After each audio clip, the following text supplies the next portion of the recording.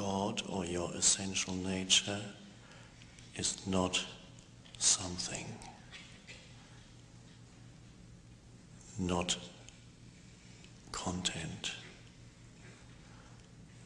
not form.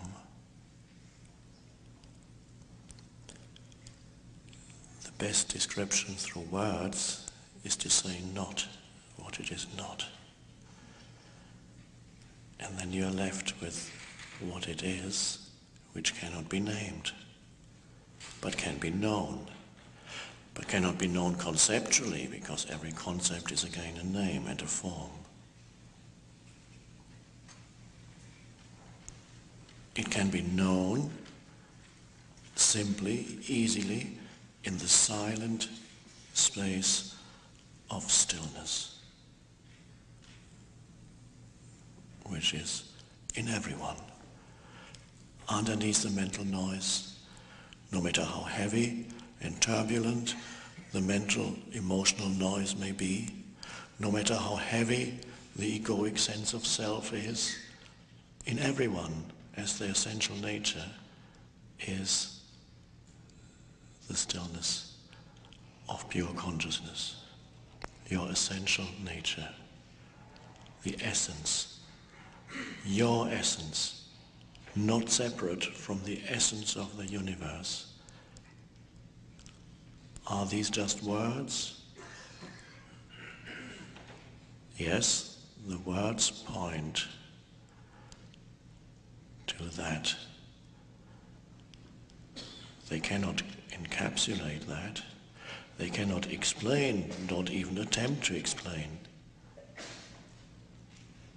If a question arises in you that says, please explain a bit more, I don't quite get it yet, it is not possible to, these are pointers. The analysis of pointers is pointless. but the, the mind wants to have content. So it will ask questions about the pointers instead of allowing the pointers to point. It wants to analyze the pointer, the signpost. Let's look at this signpost. Let's examine it. Let's get out the microscope. So what I'm saying, the mind cannot get.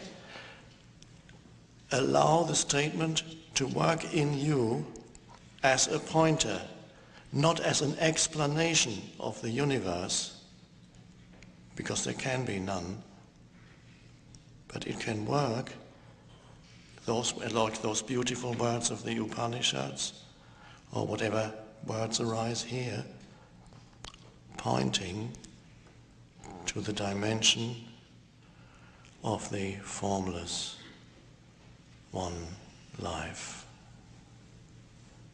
that is you. So what really it is pointing to, all these words point to is that dimension of stillness within that is vibrant with life but still extremely awake, but still.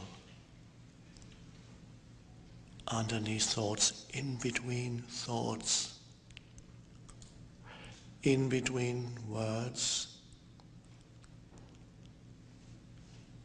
is the canvas on which the whole phenomenal existence is